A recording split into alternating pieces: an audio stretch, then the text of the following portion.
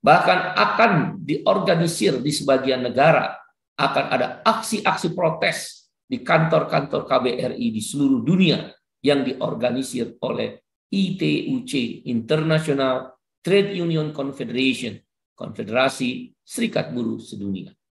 Salah satu bentuk perlawanan, seluruh kantor-kantor KBRI akan dikirimkan surat protes oleh serikat buruh di masing-masing negara. Katakan di Jerman ada serikat buruh namanya DGB. Dia akan mengirim surat ke kantor KBRI, kantor eh, apa kedutaan besar Republik Indonesia di Jerman. Begitu juga AFL-CIO di Amerika. Begitu juga KUT di Brazil, ACTU di Australia, dan di belahan dunia lainnya termasuk Rengo di Jepang akan mengirim surat ke KBRI Jepang atas semuanya instruksi oleh ITUC tentang penolakan Omnibus Law Undang-Undang Cipta Kerja.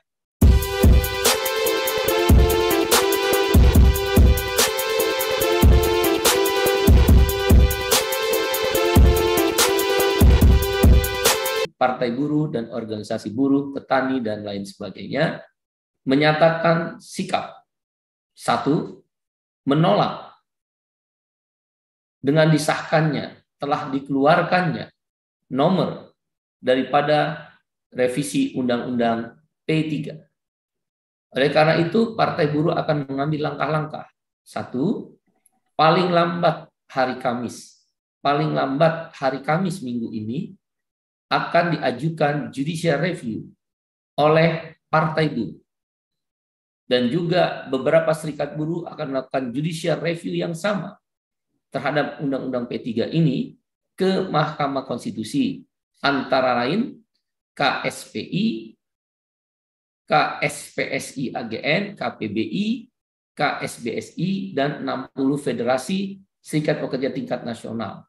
Jadi ada dua gugatan yang masuk untuk melakukan judicial review terhadap Undang-Undang P3 yang kemarin baru dikeluarkan nomornya oleh Bapak Presiden Jokowi. Yang gugatan pertama diajukan oleh Partai Buruh sendiri.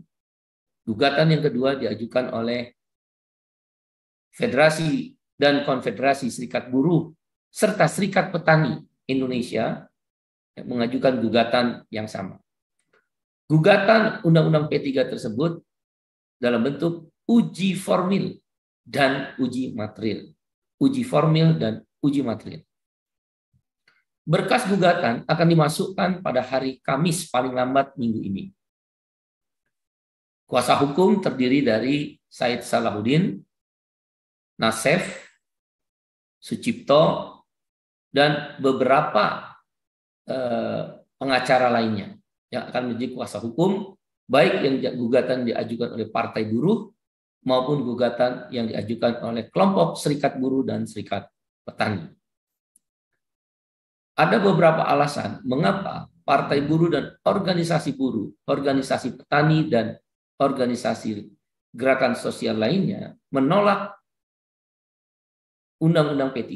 Satu, Undang-Undang P3 hanya akal-akalan politik dari DPR dan pemerintah untuk melakukan pembenaran memenuhi kata-kata bersyarat yang diputuskan oleh MK inkonstitusional bersyarat terhadap Omnibus Law Undang-Undang Cipta Kerja. Jadi diakal-akalilah oleh DPR hanya dalam waktu 10 hari. Omnibus Law dibenarkan sebagai bagian dari sistem pembentukan peraturan perundang-undangan dalam Undang-Undang P3. Jadi bukan karena kebutuhan hukum. Alasan yang kedua, Undang-Undang P3 revisi ini mengulang kembali metode pembahasan Omnibus Law Undang-Undang Cipta Kerja, yaitu kejar tayang tidak melibatkan partisipasi publik yang meluas. Hanya sebagian ahli hukum ketatanegaraan yang diundang. Dan hanya 10 hari. Bagaimana mungkin ibu dari sebuah undang-undang, yaitu dasar bagaimana sebuah perundang-undangan itu akan dibentuk, dibahas hanya 10 hari. dan hanya memasukkan kata-kata Omnibus Law menjadi sah sebagai model hukum di dalam P3. Yang ketiga alasannya, bisa dipahami kalau kemudian undang-undang ini cepat sekali dibahas karena ketua panja balik revisi undang-undang P3 ini dan seluruh anggotanya adalah mereka-mereka muka-muka yang membahas Omnibus Law Undang-Undang Cipta Kerja yang oleh MK sudah dinyatakan inkonstitusional bersyarat dan cacat formil. Orang-orang ini mengulang kembali untuk melakukan revisi Undang-Undang P3. Yang keempat,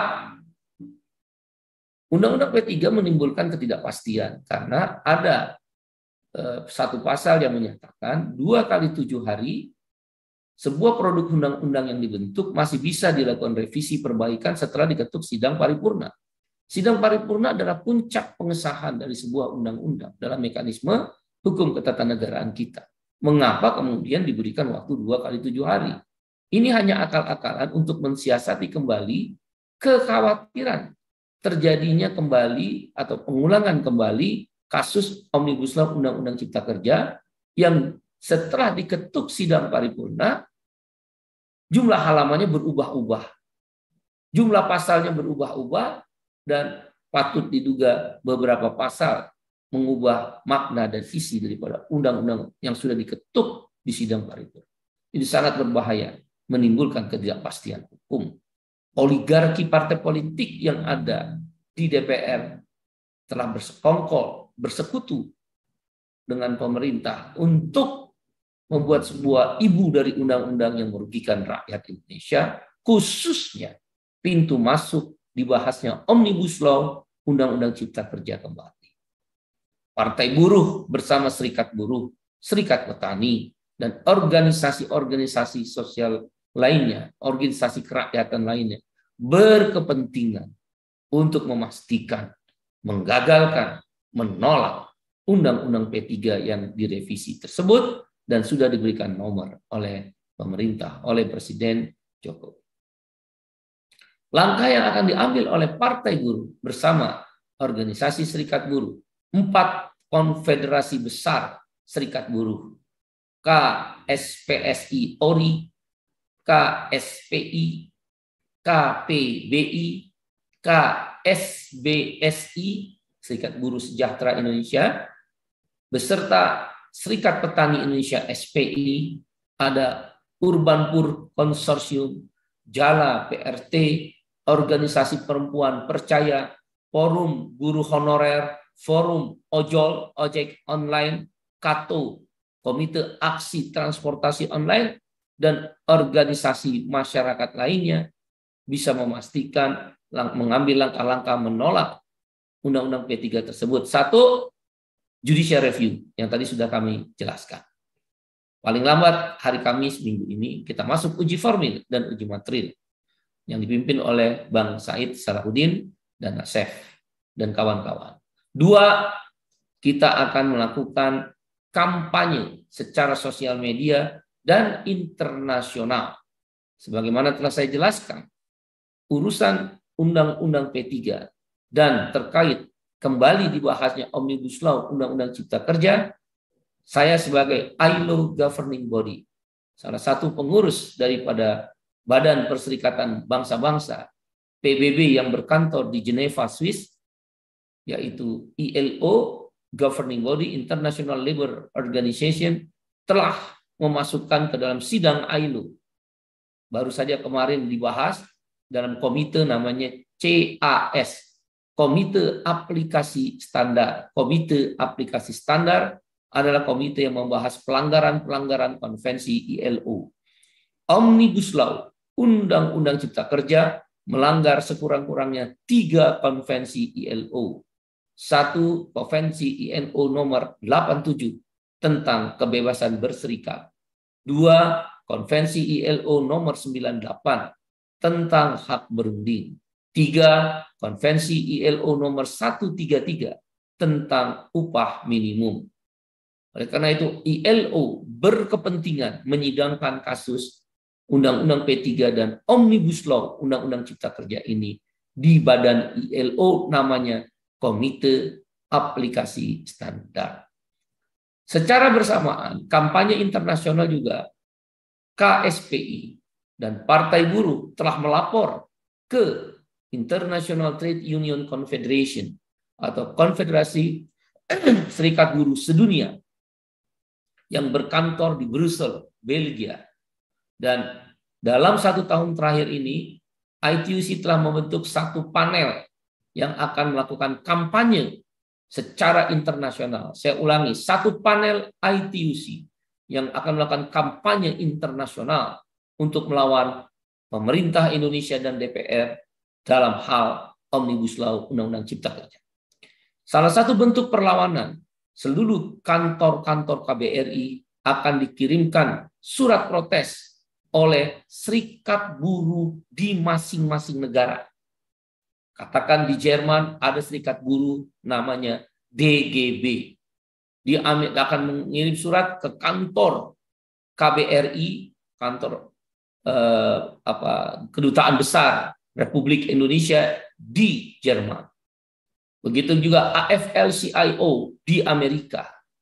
Begitu juga KUT di Brazil, ACTU di Australia, dan di belahan dunia lainnya termasuk Rengo di Jepang akan mengirim surat ke KBRI Jepang atas semuanya instruksi oleh ITUC tentang penolakan Omnibus Law Undang-Undang Cipta Kerja. Bahkan akan diorganisir di sebagian negara, akan ada aksi-aksi protes di kantor-kantor KBRI di seluruh dunia yang diorganisir oleh ITUC, International Trade Union Confederation, Konfederasi Serikat Buruh Sedunia. Karena KSPI adalah anggota aktif yang membayar iuran kepada ITUC. Itu langkah yang kedua, yaitu kampanye internasional, baik di Komite Aplikasi Standar ILO maupun aksi-aksi yang akan organisir, perlawanan-perlawanan yang akan diorganisir oleh Konfederasi Serikat Buruh Sedunia. Itu langkah yang kedua. Jadi langkah pertama GR, langkah judicial review, formula material, langkah dua kampanye internasional, langkah ketiga akan dilakukan aksi-aksi berlanjut. Kita sudah mulai dari May Day, 14 Mei 2022, kemudian aksi 15 Juni yang lalu di depan gedung DPR, dan kita akan lanjutkan aksi-aksi besar menolak Undang-Undang P3 sekaligus menolak Omnibus Law Undang-Undang Cipta Kerja. Bentuk perlawanan lainnya adalah melakukan kampanye sosial media. Menolak undang-undang P3 yang direvisi dan menolak Omnibus Law Undang-Undang Cipta Kerja. Terhadap isu yang kedua, Omnibus Law Undang-Undang Cipta Kerja, jelas tadi di depan saya sudah jelaskan, kita akan tolak dan kita akan mengambil langkah-langkah empat hal tadi. Judicial review, kampanye internasional di ELO dan ITUC yang akan menggerakkan kampanye aksi di kantor-kantor KBRI Indonesia dan yang ketiga ada aksi-aksi buruh di seluruh Indonesia dan yang keempat adalah kampanye melawan melalui menolak Undang-Undang Omnibus Law Cipta Kerja dan Undang-Undang P3 melalui sosial media.